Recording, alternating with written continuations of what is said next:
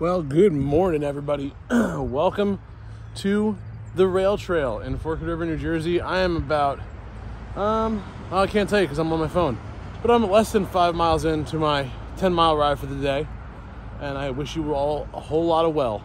Um, this is actually one of the little stops at the end of the bike route here.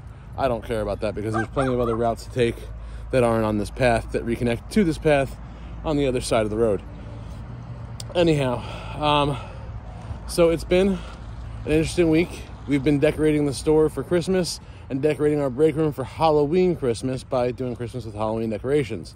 Um, basically, putting our damages to use in the store.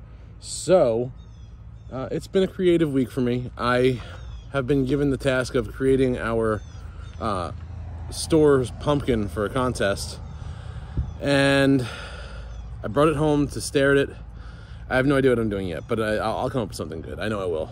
I've been looking for inspiration. Um, if you're something you think I could do good, put it in the comments. But until I, I figure out exactly what I'm going to do, I'm not going to cut it because that requires you to get a hot blade. Uh, I might just paint it. And I'm thinking about sanding it down so I have a flat surface to paint uh, with a little bit of gesso. A lot of magic can happen. happen. So that is my plan for that. Uh, I'm gonna get back to this ride, and we will uh, we'll cap this off later at the house. I'll see you in a bit. So now I find myself in the throes of work, and I'm taking phone calls, and I had a customer call about these. Now, trying to find white flowers in a sea of white flowers when you're not into flowers is kind of difficult.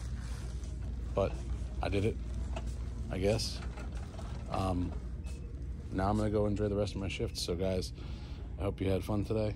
Uh, sorry we jumped from I'm going on a bike ride to I'm at work, but I don't have a whole lot in between because I ran out of battery. Um, until next time, guys, I'm John from JDubs Arts, and I'm freaking out of here.